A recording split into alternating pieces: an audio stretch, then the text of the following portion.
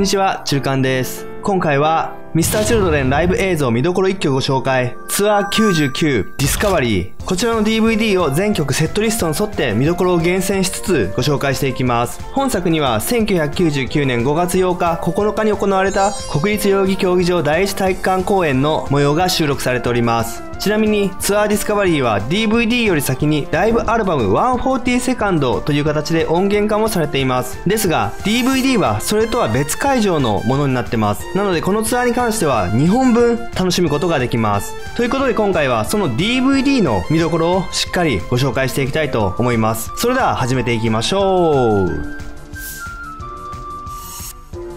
まずこのツアーは照明以外の派手な演出や特殊効果、さらにはスクリーンも設置されませんでした。ですのでコンセプトがより演奏、音、バンドにこだわったものになっております。活動休止後のツアーでもあり、Mr.Children はバンドとしてのあり方を再確認されたんですね。そんなライブのオープニングは映像としての尺はほぼないに等しいです。ですがいきなり見どころ一つ目ご紹介します。ツイストパーマ。これは桜井さんの髪型なんですが、当時活動休止時は坊主だったという情報は入っておりましたが、その後のこの髪型にもびっくりしました。確かに今思えばこの髪型流行っていたような記憶もありますので、ロン毛が流行った時はロン毛になったり、結構桜井さんも時代に合わせた髪型をしているように思いますね。まあそれはいいとして、1曲目いきましょう。1曲目はディスカバリー。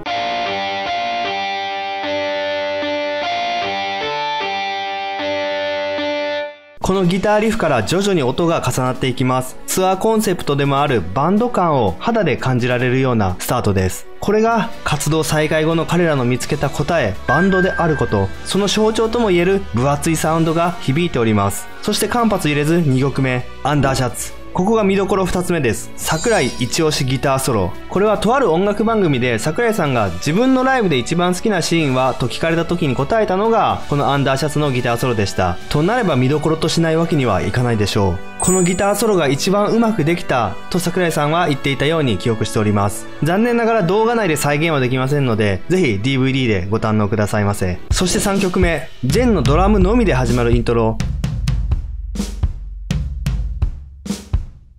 ジャカジャーンとそのまま A メロを歌い上げます。サビは観客に委ね、どちらかといえば笑顔あふれる名もなき歌でしたね。この曲は数多く演奏されていますが、このライブでは声の伸びが他と比べかなり好調な印象です。そして続くのが、プリズム、Everything It's You, I'll Be。プリズムのポイントは、何もかもが憂鬱の憂鬱を2度繰り返し歌い上げるアレンジでした。これ結構鳥肌ものなのでね、破壊力抜群です。田原さんの原曲に忠実な音の再現も聞きどころかと思います。エブリシングもバンドサウンドのバラードであり、このツアーにぴったりな選曲ですね。そして ILB で見どころ3つ目としましょう。演奏時間約10分。スローテンポで体感的にもとにかく長いです。ただ、もちろん長いだけではありません。1秒たりともスキップ厳禁です。一つの映画を見てると思ってください。最後に感動が必ず待ってます。続いて、花メメントモリ、シンプル。花では最後の落ちサビとラララはお決まりのようにお客さんへ委ねます。これも演奏は原曲通り。シンプルに関してはもう普通に聴いてて、あ、いい曲だなって思いますね。そして次から盛り上がる曲がノンストップで続きます。まずは9曲目、ラブコネクション。ここが見どころ4つ目、バンドセッション。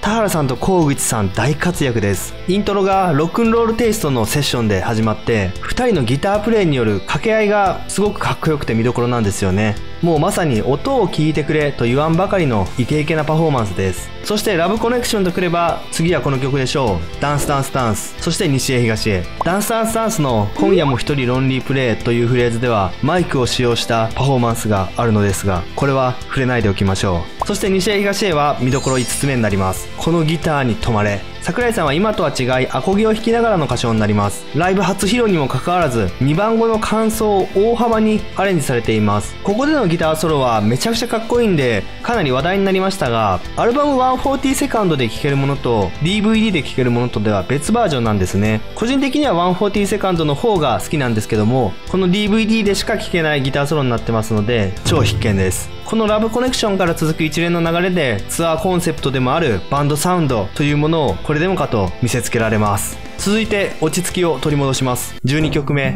ラララ。ここ見どころ6つ目です。大合唱中の。この曲ももちろん初披露ですが、もう大合唱であることは言わずもがなです。見どころは最後の合唱中の演出なんですね。桜井さんはこのように煽ります。男だけの声を聞かせてくれ、女の人も関係者ももっとみんなでこうやって会場に一体感を作り上げるのですが、そんな合唱中の出来事、その一体感をあの神イントロが突如遮ります。13曲目、Tomorrow de Mar Notes。ラララの大合唱からつながる代表曲。イントロの破壊力をここでも見せつけられました。そしてクライマックスです。Mr.Children 最強の楽曲が続きますね。14曲目は、終わりなき旅。これはミッシル最高峰の楽曲、終わりなき旅の初ライブ披露、原点です。イントロのギターバッキングに入る前にシンセのイントロが追加されますが、それ以外は完全に原曲通りです。歌もかなり安定していて、本来の終わりなき旅に一番近い演奏になってますね。今では3回繰り返す最後の終わりなき旅のフレーズも、この時はまだ2回でした。ただ変わらないのは、アウトロで4人向き合って演奏される姿は、もうこの時からでした。そして、早くも本編ラストです。15曲目、光の差す方へ。こちらも初披露ですが、これ以降のライブでは、毎回ラッサビをカットするんですよね。なので、本当のフルの光の差す方へは、実はこのライブでしか聴けません。今のところは。という感じで本編はここで終了です。ではこのままアンコールいきましょう。まずは16曲目、Everybody Goes。もうメンバーもお客さんもノリノリで盛り上がりは最高潮です。桜井さんがギターソロで後半アドリブを入れて弾いてるので、それがすごくかっこいいです。そしてラスト、最後を飾るのは17曲目、イメージ。短いアコギのイントロが追加されています。ちなみに桜井さんはこの曲ではエレキを持っています。最後の大サビ用ですね。この曲はアルバムの最後に収録されている楽曲であり、このツアーも同じようにしんみりと幕を閉じました。演奏終了後にメンバー全員が前に出て挨拶をします。極限まで音にこだわったライブ、Mr.Children がバンドであることを僕らも改めて再認識できたように思います。97年3月、 regress or progress tour final in 東京ドームを終え、活動休止を経て、 Tour Discovery 開始までの約1年9ヶ月、ミスターチルドレンは何が変わったのか、その問いに対し桜井さんはこう答えております。自由、良くも悪くも。まるでデビュー当時のような構成で行われた Tour Discovery ですが、Mr.Children が発見した自由な音楽を目いっぱい堪能できるライブとなっていたのでした。この後、10年先も20年先も続く歴史の第2章の幕開けと言ってもいいのではないかと思います。よかったと思っていただけましたら、ぜひチャンネル登録、グッドボタン押してってください。